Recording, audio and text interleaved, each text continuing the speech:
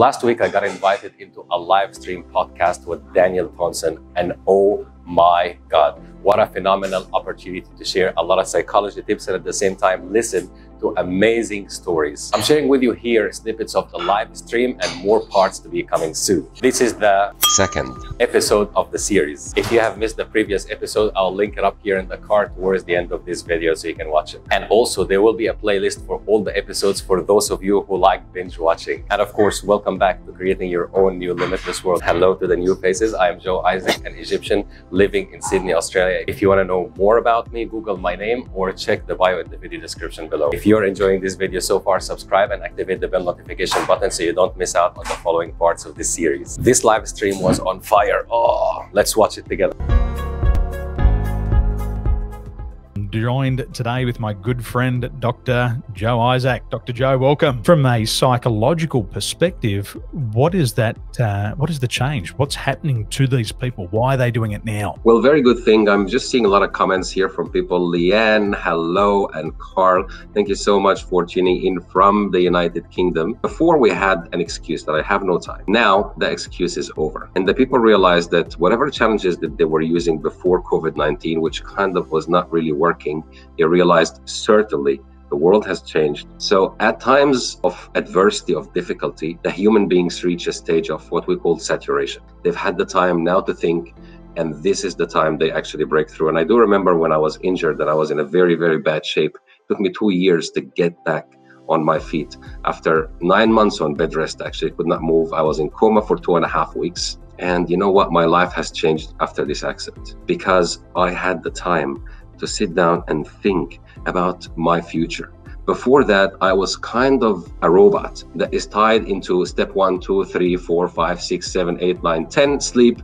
Next day, step 11, 12, and it's just there was no time for me to actually think. So when I was in the hospital, I had a lot of time to just think. And this is how it changed my life. And part of it, how I went into my postgraduate studies and I started to move into the traction of I gotta help people to make a difference because I was so strong, I was so muscly, I was this, that. And then all of a sudden, I nearly died just like that. And now I can't even feed myself because I was on a bed rest like this. The only thing that can move was pretty much my eyes and my tongue. Nothing else can move, which made me so vulnerable to even feel that I need someone to feed me at my age. And for those people that you've mentioned, they may have reached a stage where they have the time to think. And time is one of the most valuable resources that we don't appreciate until we lose it. Okay, what can I do to survive? I'm just thinking about um, what you've said there about being in a in a in a coma and and the big impact that it had on in your life. So as you reflect on who you are today and who you were before, what are some of these improvements that you've seen in your personality, in your personal characteristics? Because we're going to talk about confidence in a moment. And uh, are some people born with confidence? Are they born without it?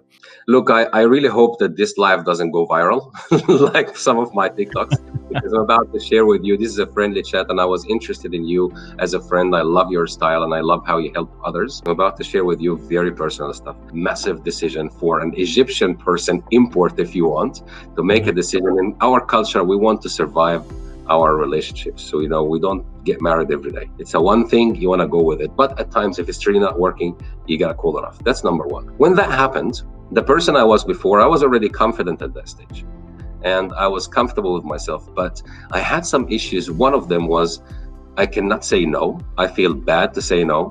And hence why I was stuck in that relationship and I couldn't say no, even though I know that it's not working and there's there's absolutely no improvement whatsoever, not even that much progress. So that's one, one thing that has shaped me after the accident. Number two, I really didn't appreciate life. I did not appreciate going to the bathroom. I'm sorry to say this. But there are certain things, pardon me, there are certain things that we really, really don't appreciate until we lose them. And I have never thanked God or was grateful for being able to go to the bathroom and do my business. Never. After the accident, every single time to this day, this accident has been years ago.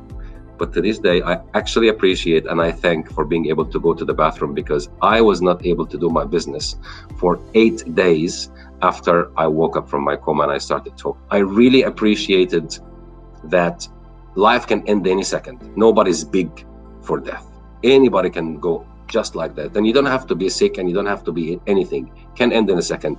The only question I want to ask myself did I feel happy? Did I feel like I was able to help others? Did I feel like I left something behind? Now, my dad, unfortunately, God bless his soul, died a few months ago, last year. When my dad died, I could see that the change in my personality before the accident to after my accident is really crystallized.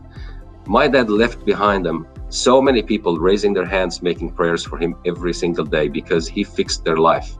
And we used to have our own little joke, me and my dad. He said, You fix the people from the inside, I fix them from the outside. He was a cosmetic surgeon and an eye surgeon as well. So he'll actually do the operations. I'll work on their personalities and get them to be the best version themselves, etc.